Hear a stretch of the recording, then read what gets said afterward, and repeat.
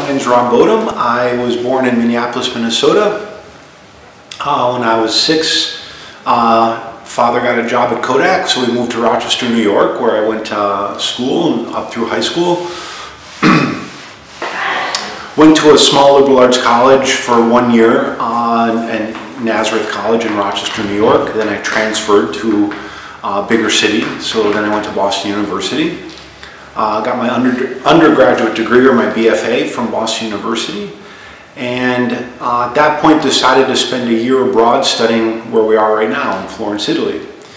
Uh, at that point, uh, after my year abroad, uh, I returned to Boston University where I got my uh, Master's of Fine Arts, two-year degree, and then at the age of 28, came back to Florence and, and started this sculpture program where we are today it was actually a friendship and a visit to visit a friend of mine who was at Boston University that, that made me make up my mind. And my, when I was in Nazareth College, I took my spring break and I uh, went to visit him and had a fantastic time in, in a big city, lots of excitement, uh, anything a 19 year old, 18 year old young man seems to appreciate. So, and coincidentally, that friendship is also what brought me here because uh, he was my best friend. His, his name was Jamin, and he is the son of the, the director and the founder of the school.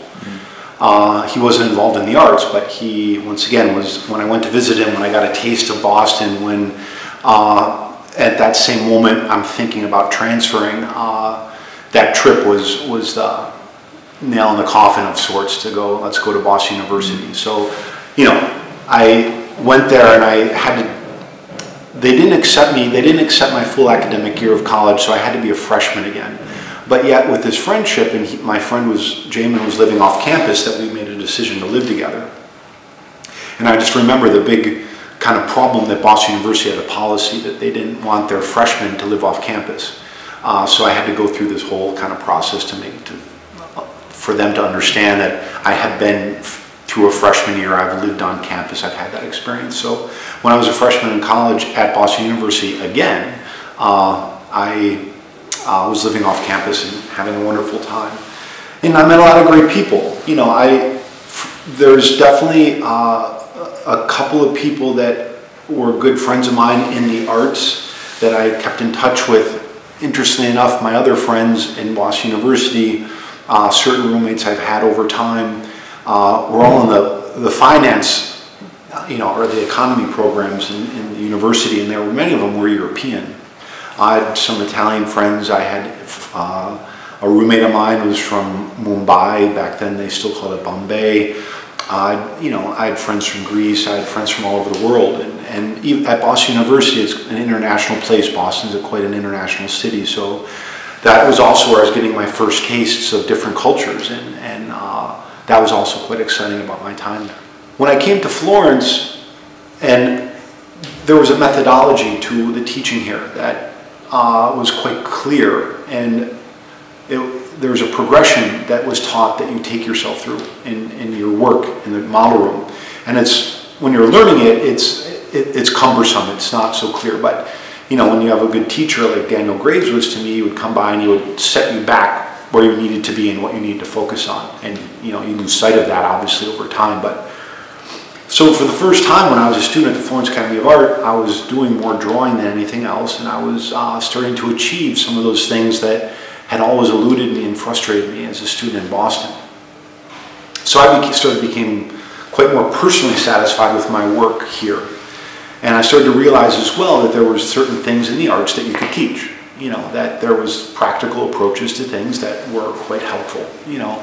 And being in a more open, free art environment in Boston, that uh, even though the woman who I spent a lot of time studying with had a methodology to how to approach figurative sculpture, uh, most everything else I was doing didn't have one. It was kind of just explore we'll tell you what we, will tell you what you think we think when we're when you're done so anyway, there was a tremendous amount of satisfaction. There was it's a lot of hard work trying to execute a, a competent uh, figure drawing, figurative sculpture, and and that started to light kind of a passion. Uh, I like to build things, and I like to build things well. You know, if I was to wake up one day and want to build a chair, which happens, I would want to build it well. And so there was something about building a, you know, sculpture is a lot about building. My subject, which is the, is the figure, uh, there, there's something about it. There's a distinction about if it's done well. Yeah, I mean, one of the things about deciding to come here, there wasn't a sculpture program. And so I came here and the school had found a building, uh, walked into it, there was nothing in it. And that's how it got started. It was the first expansion of the Florence Academy of Art uh, that was previously in one building. Now there's about five in Florence, there's one in Sweden, and there's now one in New York. So there's been a rapid expansion of this school since then, but it was, the sculpture program was the first expansion. Uh, started very slowly uh, with very few students. Uh, um, you know, there's, I mean, there's been so much about it, it's hard to focus on, on little smaller elements to it, but it, uh,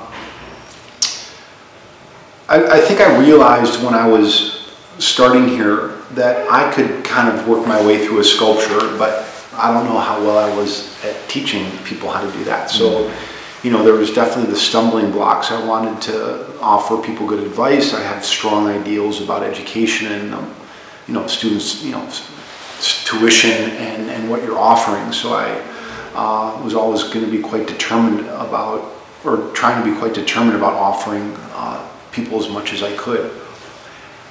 And I've had, I, I mean, I, you know, one can say that, you know, I've been fortunate with, with a lot of talented, driven people, and that's definitely the case. And one can say that uh, it was fortunate that talented, driven people had also come and found uh, this program.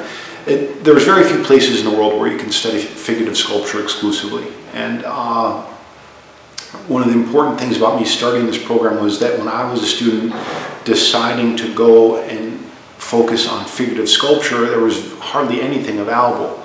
Uh, not everyone wants to get a master's degree. I had to go get a master's degree to kind of focus on a higher level with figurative sculpture. So uh, I have a, I'm, I, I'm very proud, I couldn't barely even name them all, of the students that have come here and thrived in the environment, succeeded, uh, lots of interesting personal stories uh, about people. Uh, one of my first students had just heard about this school, left high school, and uh, made her way to Florence looking for it, didn't even know where it was physically.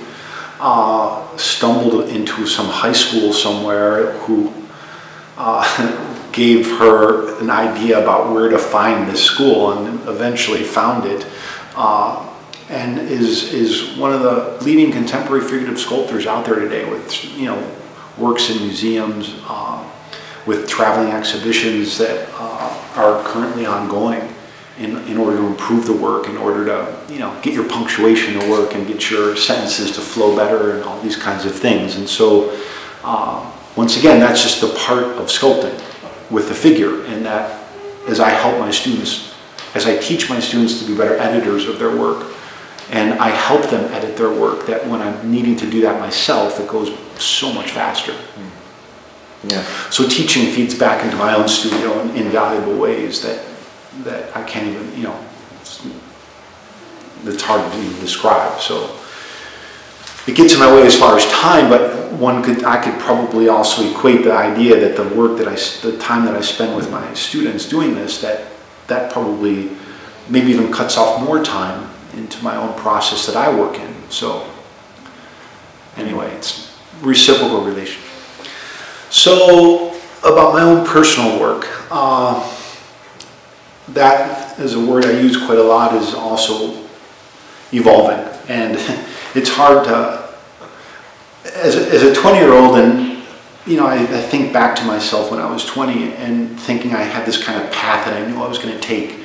Uh, and that kept changing direction. And I, you know, that it's nice to sit there and sort of conclude yourself, well, I'm going to do this. And you set out on this path to try to accomplish things. And the, the longer I'm involved in the arts, uh, the less and less and less I think I have uh, this clear kind of defining thing about what I need to do with my work that uh, whether it goes to what it needs to say or what it doesn't need to say, that uh, my work once again goes to these constant evolutions that uh, as I was pointing out to you that, you know, sometimes a broken sculpture that was an accident can become more exciting than maybe the completed sculpture had been. And so, you know, th- this kind of thing, it's, it's a little bit interesting to me about how things do also come full circle, uh, at least at this point in my career, and I would never, ever feel that I need, I would set out a definition for myself and say, this is what I'm gonna do, and this is what I'm, I'm always gonna do, and this is what it's always gonna look like, and, uh, because that's changed so much. But when I was appreciating abstraction, I appreciated the fact that there wasn't, uh, a distinct narrative to it, that people could come up to the work and appreciate it on different levels.